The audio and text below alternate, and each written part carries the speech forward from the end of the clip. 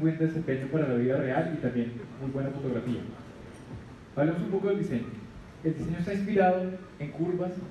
Eh, hemos creado un dispositivo que tiene una pantalla de 5.5 pulgadas con resolución Full HD con un cristal 2.5D, que es esa ligera curvatura que tiene la, eh, el vidrio de la pantalla precisamente para acoplarse perfectamente al cuerpo metálico que tiene el equipo. Tenemos una relación cuerpo-pantalla de 78.2%, de tal manera que también tenemos una mayor visibilidad. Recordemos que este es un teléfono para personas que están todo el tiempo consumiendo redes sociales, por ejemplo, entonces es muy importante que ellos tengan esa pantalla con ese, esa relación eh, tan interesante entre el tamaño total del equipo y el tamaño de la pantalla.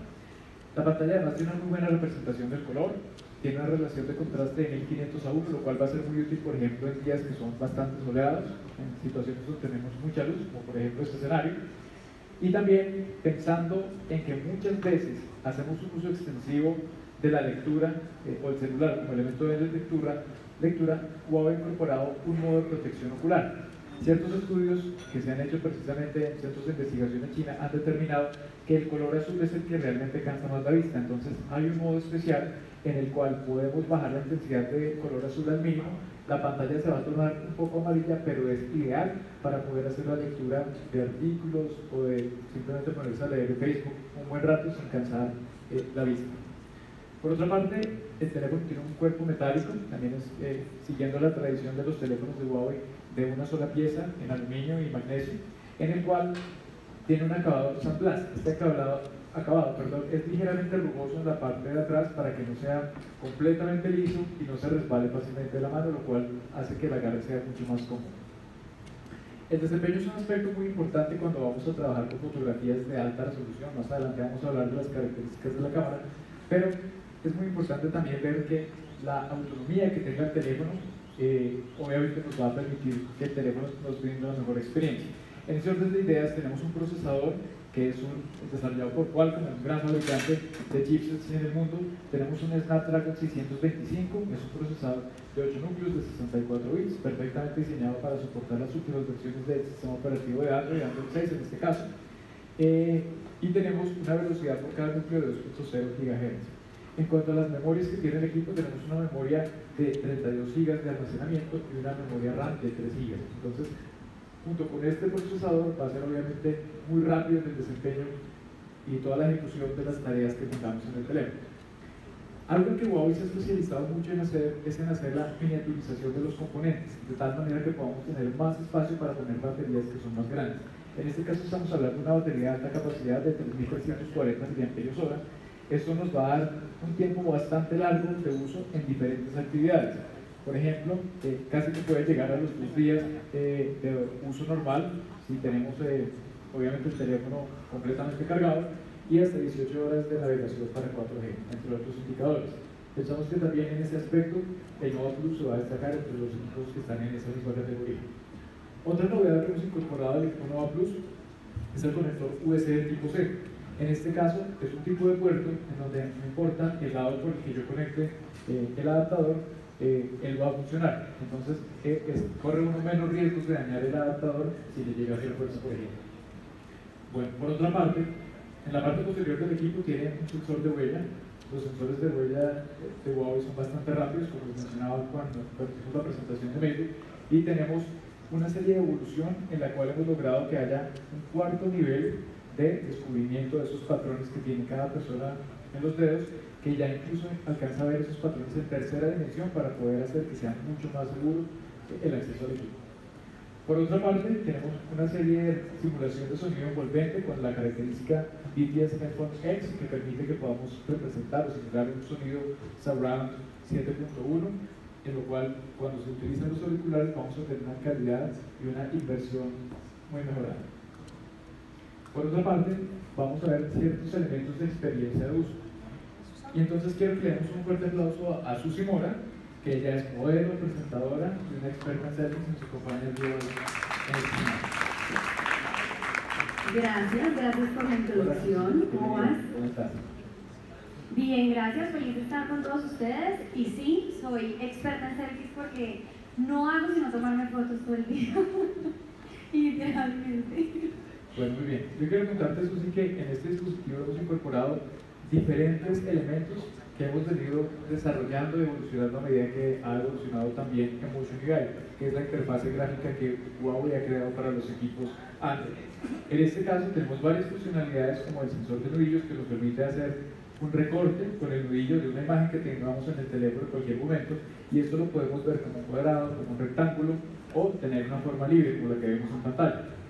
Por otra parte, podemos hacer unas capturas largas de pantalla. Si yo estoy viendo un contenido que excede el tamaño de la pantalla, pero quiero almacenarlo en una sola imagen, dibujo una S con el nudillo nuevamente y él va a empezar a cortar esos pedazos y unirlos en una sola imagen para compartir. Yo te tengo algo que va a ser especialmente útil para la profesión que tú tienes.